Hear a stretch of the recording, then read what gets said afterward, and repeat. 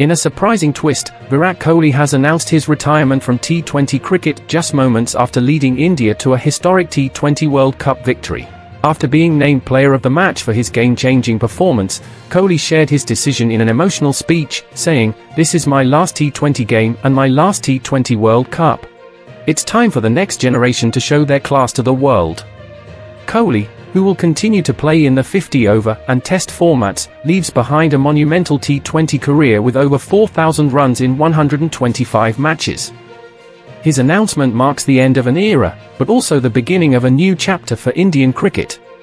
Don't forget to like, share, and subscribe for more updates hit the bell icon to stay notified of our latest videos.